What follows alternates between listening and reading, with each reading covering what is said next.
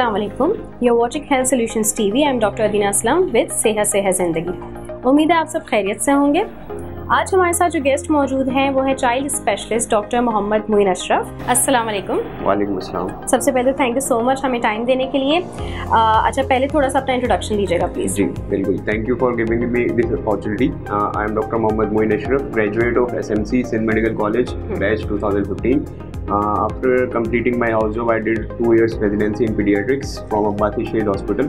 Uh, उसके बाद मैंने as a clinical fellow paeds cardiology department N I C D join किया and right now I am working in N I C D paeds cardiology department as a clinical fellow ठीक है that's great अच्छा सबसे पहले हम बात करेंगे कि जैसे आजकल का जो सीजनल एक वायरल चल रहा है, आपके पास भी आप बहुत देखते होंगे कि जो है इसी केस पे विज़िट करते होंगे बच्चे पेरेंट्स बच्चों को लेकर आते होंगे। थोड़ा सा उस पर बताइएगा कि क्या सिम्टम्स होते हैं और दूसरी चीज़ ये कि फ्लू शॉट्स जो होते हैं, क्या parents should go for those कि वो फ्लू शॉट्स लगवाएँ अपने बच्चों के कि नहीं? फ्लू अगर स्टार्ट किया जाए फ्लू वायरस से। इन्फ्लुएंजा वायरस तो वैसे हंड्रेड ईयर्स ओल्ड वायरस है अब तो उसकी वैक्सीन भी मार्केट में आ चुकी है। हम्म। और रिकमेंड यही की जाती है कि वन ईयर्स एंड ऑनवर्ड बच्चों को लगवाई जाए वैक्सीन लेकिन उसको ये क्राइटेरिया होता है कि बच्चों को फीवर या फ्लू ऑलरेडी ना हो।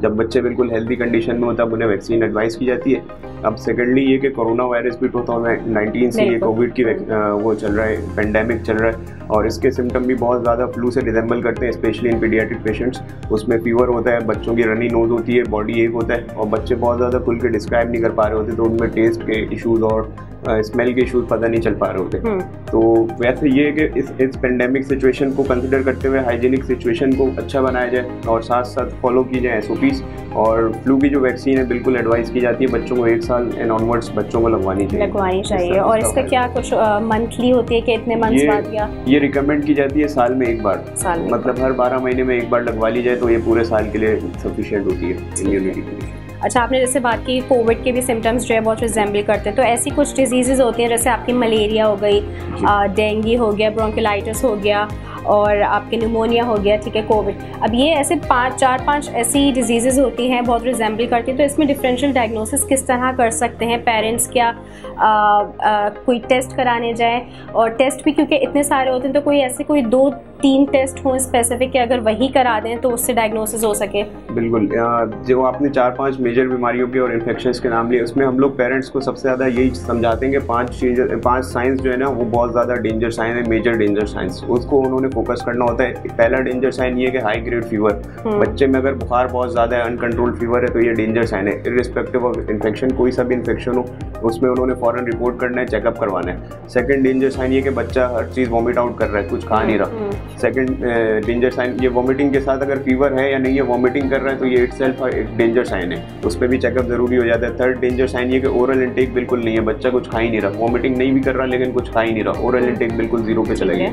तीसरा डेंजर साइन है चौथा डेंजर साइन ये कि अनकॉन्शियस बच्चा है। कि बच्चा अगर फीवर वगैरह के साथ बच्चा बहुत ज़्यादा ड्राउजी लिथार्जिक हो रहा है अनकॉन्शियसनेस की तरफ़ जा रहा है कॉन्शियस लेवल अच्छा नहीं यानी कि बेहोशी की तरफ़ जा रहा है तो ये एक चौथा डेंजर साइन है। पाँचवा ये कि फिट्स फिट्स वाली कंडीशन बहुत सारे इन्फेक्शन में भी होती है जैसे दिमाग का गर्दन तोड़ बुखार जो होता है तो उसके दिमाग के इन्फेक्शन में भी होती है उसके अलावा कुछ बच्चों को फिब्राइल फिट्स भी होते हैं। तो उसमें भी ये एक डेंजर साइन है। फिट्स किसी भी वजह से हो आपने चेकअप करवाना है बच्चे का। और बाकी मलेरिया के साइंस में कुछ ऐसी सिम्टम्स भी ऐड होते हैं जिसमें शिवरिंग होती है बच्चों का बुखार बहुत ज़्यादा एक्स्ट्रॉर्डनरी उनको सर्दी लग रही होती है। हम्म। तो ये डिफरेंशियल पॉइंट ऑफ़ व्यू होता है कि इसमें बच्चे को मलेरिया के हवाले से देखा जाता है। बाकी टेस्ट तो फिजिशियन चेकअप करने के बाद एडवाइस करते हैं। उसके साथ साथ डेंगू में भी ये कि हाई ग्रेड फीवर है बच्चों को सर्दी लगेगी लेकिन वो वाली शिवरिंग नहीं होगी जो मलेरिया में होती है। और नमूनिया में कफ होगा रेस्पिरेटरी रेट बढ़ जाएगा बच्चों में जो सांस के नॉर्मल दौरानिया होता है वो तेज़ हो जाते हैं। तो नमूनिया की डिफरेंशियल डायग्नोसिस इस तरह हम लोग इस्टेब्लिश करते हैं सिम्टम और साइन को देखते हुए कि सांस की रफ्तार तेज़ होगी पसलियाँ जो चल रही होंगी यानी कि सीने की जो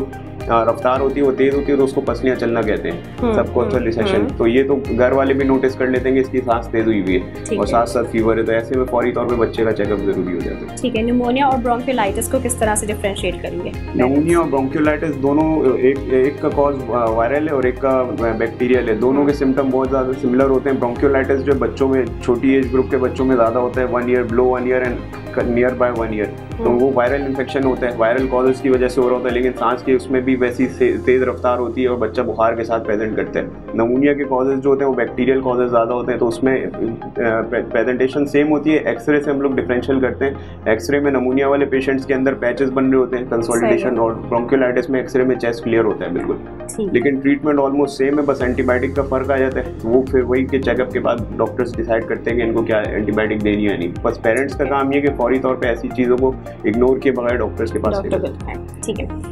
अच्छा इसके अलावा बात करते हैं कोविड की। कोविड आपके पास जो है वो कितने आप देख रहे हैं? कितना रेशो है कि बच्चों में भी कोविड हो रहा है और अर्ली सिम्टम्स बच्चों में क्या आ रहे हैं कोविड के हवाले से अब क्योंकि हम लोगों के एन के अंदर तो रिसर्च भी चल रही है। बॉस्टन यूनिवर्सिटी अमेरिका की मैं उस रिसर्च का भी एक पार्टिसिपेंट हूँ। मतलब एज अ मेंबर उसमें पार्टिसिपेट कर रहा हूँ। बहुत फ्रिक्वेंटली हमें पेशेंट्स मिल रहे हैं। हम्म। अब हमारे पास यूजुअली टेस्ट तब करवाए जाते हैं जब कोई प्रोसीजर करवाना हो। जैसे एनजियोग्राफी एनजियोप्लास्टी हो तो उसमें हम लोग पहले टेस्ट करवाते हैं उसके बाद फिर एडमिट करते हैं पेशेंट तो उसमें मोस्टली पेशेंट्स आजकल पॉजिटिव आ रहे हैं। और मतलब जो पॉजिटिव आ रहे हैं उसमें मोस्टली ये कि जो एसिम्टोमेटिक पेशेंट्स होते हैं। हम्म। उनको माइल्ड सा फ्लू है माइल्ड सा फीवर है तो वो इग्नोर हो रहे होते हैं उनको हम्म। घर वाले भी तवज्जो नहीं दे रहे होते। बच्चों में ज़्यादातर इम्यूनिटी के इश्यूज़ बड़ों के मुकाबले में बेहतर होते हैं तो बच्चों की इम्यूनिटी अच्छी होती है। तो वो बहुत ज़्यादा रिस्पॉन्ड करते हैं। फीवर और इन्फेक्शन वगैरह को बहुत जल्दी ओवरकम कर लेते हैं और उनके सिम्टम्स बहुत जल्दी रिजॉल्व हो जाते हैं। ये सिर्फ़ माइल्ड सिम्टम्स की बात कर रहा हूँ मैं। मॉडरेट और सिवियर सिम्टम में वही शॉर्टनेस ऑफ़ ब्रेथ और साथ साथ बच्चों में इरिटेबिलिटी बहुत ज़्यादा इरिटेबल होंगे। नॉर्मल फीवर से हट के अनयूजल से उनको इन्फेक्शन होगा। मतलब घर वाले भी बोल रहे होंगे कि पहले भी बुखार हो ऐसा इरिटेबल नहीं हुआ था बच्चा।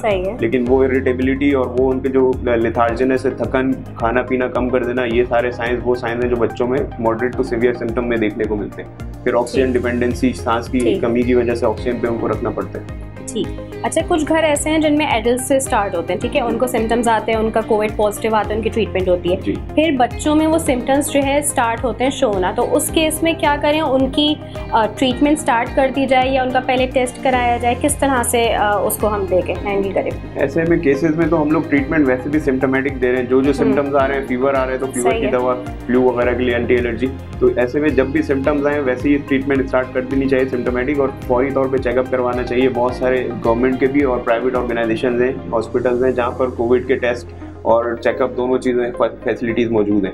तो ऐसे में घर में अगर किसी एक बंदे का भी पॉजिटिव आ गया तो बाकी लोगों को तो वैसे ही आइसोलेट हो जाना चाहिए और अपने आप को देखना चाहिए सबको ऑब्जर्वेशन में रहना चाहिए कि किसी को भी कोई सिम्टम आए तो फौरी तौर पे वो चेकअप भी कराएँ और ट्रीटमेंट स्टार्ट करें। तो बच्चों में सिम्टोमेटिक यही कि हम लोग पैनाडोल से स्टार्ट करते हैं ऑरल फ्लूड अच्छा होना चाहिए। अगर बच्चा ऑरल इंटेक नहीं ले रहा तो फिर एडमिशन की ज़रूरत पड़ती है फर्दर और ट्रीटमेंट बताइए क्या करते हैं बच्चों में फिर पैनाडोल के अलावा?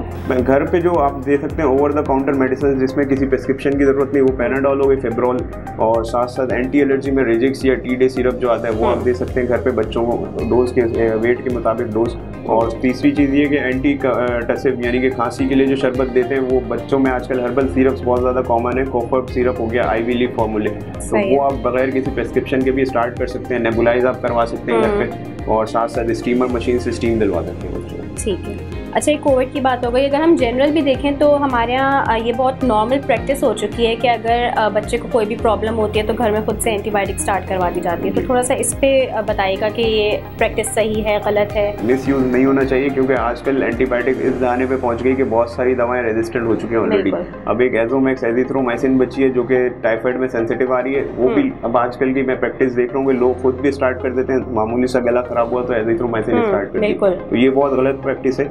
इसके लिए यही है कि आप ओवर द काउंटर मेडिसिन तो घर पे स्टार्ट कर सकते हैं पैनाडॉल रिजेक्स एंटी एलर्जी लेकिन एंटीबायोटिक का फैसला कंसल्टेंट को करना होता है डॉक्टर को करना होता है वो भी चेकअप के बाद। और बहुत सारे इस, इस हवाले से फिर कोएक्स की प्रैक्टिस भी आ जाती है जो के डॉक्टर नहीं होते। हम्म। और वो क्लिनिक्स कर रहे होते हैं वो फिर बहुत बेतहाशा लिखते हैं एंटीबायोटिक्स उसकी वजह से बच्चे रेजिस्टेंट होकर हमारे पास आते हैं। तो फिर उन एंटीबायोटिक्स का आगे असर खत्म हो जाता है। खत्म हो जाता है। ठीक है। अच्छा ये इन टॉपिक्स पर हम निकलिए एक जनरल डिस्कशन करते हैं कि हमारे यहाँ एडल्ट में तो हम बहुत ख्याल रखते हैं सप्लीमेंट्स वगैरह देते हैं कि न्यूट्रिशन सही हो मिनरल सही हो तो हम बच्चों में हमारे क्या है आयरन डेफिशिएंसी बहुत देखी जाती है। ये सप्लीमेंट्स वगैरह के बच्चों में देने चाहिए और कब से देने चाहिए? बिल्कुल ये सप्लीमेंट के हवाले से भी इस, आ, बहुत ज़्यादा ज़रूरत है हमारे बच्चों में मेल नरिशमेंट बहुत ज़्यादा है। पी हम्म। के केसेस जो हम लोग देख रहे होते हैं specially low socio economic areas में तो उसमें हम लोग ये मिल्क भी एडवाइस करते हैं। और साथ साथ सप्लीमेंट्स एडवाइस करते हैं मल्टी वाइटामिन हैं वाइटामिन डी ड्रॉप्स हैं ये फिर दी जाती है। सिक्स मंथ्स ऑनवर्ड हम लोग देना यूजुअली शुरू कर देते हैं। ठीक है। अच्छा आपने बात की फार्मूला मिल्क की। तो ये फार्मूला मिल्क की क्या एक एज लिमिट होती है? किस एज तक देने चाहिए? और दूसरी चीज़ ये कि जब डेफिनेटली आप फार्मूला मिल्क दे रहे हैं तो उसमें फीडर्स यानी प्लास्टिक का यूज़ बहुत आ जाता है तो उसका क्या हार्म होता है?